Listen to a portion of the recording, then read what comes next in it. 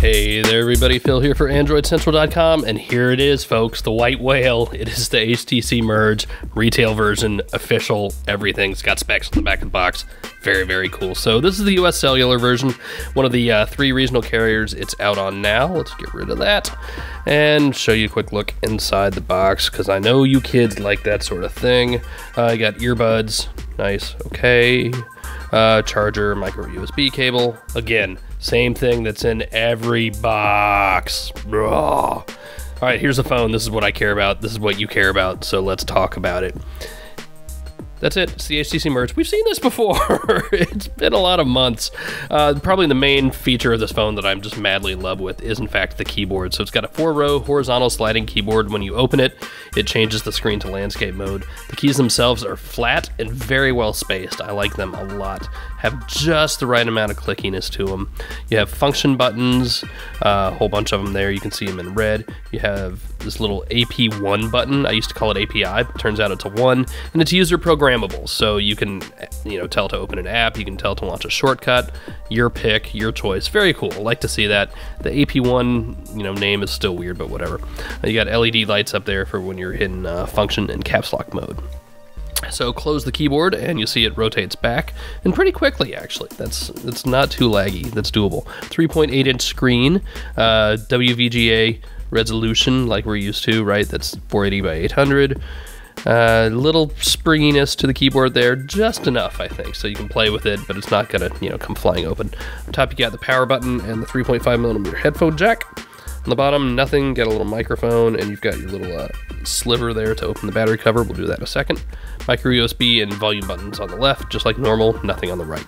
Uh, the back is actually really nice. You've got a 5 megapixel camera and a flash and your speaker and kind of a brushed metal uh, along with soft touch paint. It feels really good, feels really solid, almost feels like unibody construction, but it's not. And let's just open it up and I'm gonna try to do so delicately since we're on the camera here, but it might need a little more force. It's actually not that tough to get open, then uh, I'm doing a mess of it here. There we go. So here you go. You got a 1400 milliamp hour battery in it.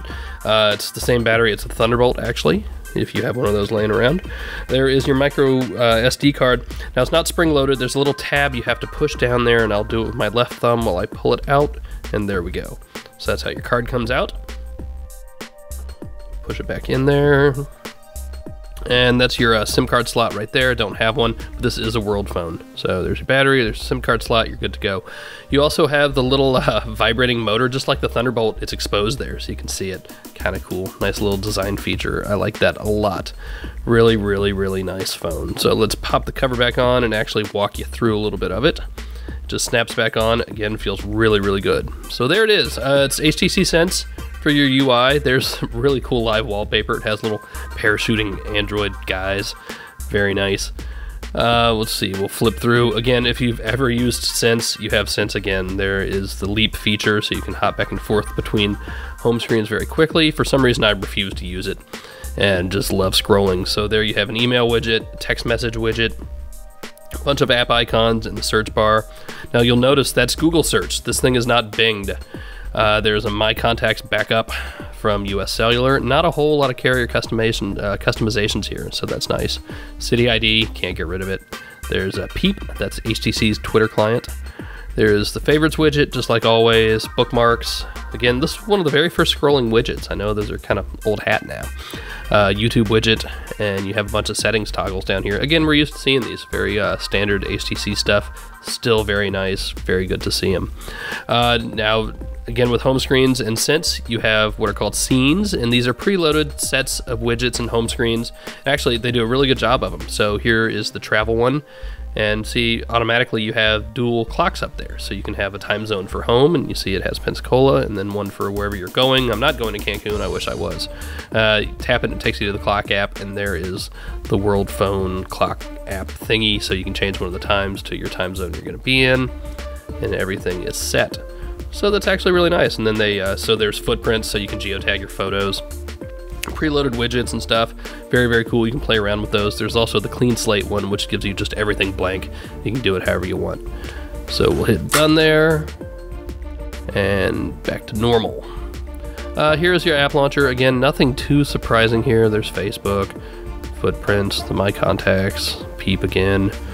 Uh, what else? Wi-Fi hotspot, so that is built into the phone, which is good to see. Again, this will be piggybacking actually on Verizon's uh, 3G network, so it should be pretty familiar to you.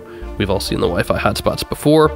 Uh, let's dive into the settings real quick and see exactly what we're dealing with. And software information, Android 2.2. So you know, it's not gingerbread. What are you going to do? Will it get gingerbread? I don't know. I'd, I'd like to think so. I'd like to think US Cellular is going to have a little life in this thing.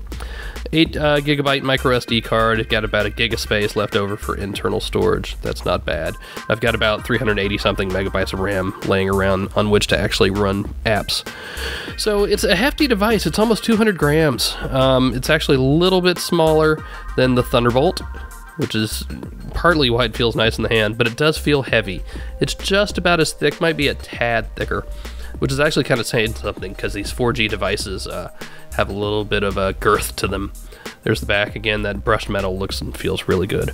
So there you go, guys. A very quick look at the HTC Merge. Finally, this one's on US Cellular. We'll see you later.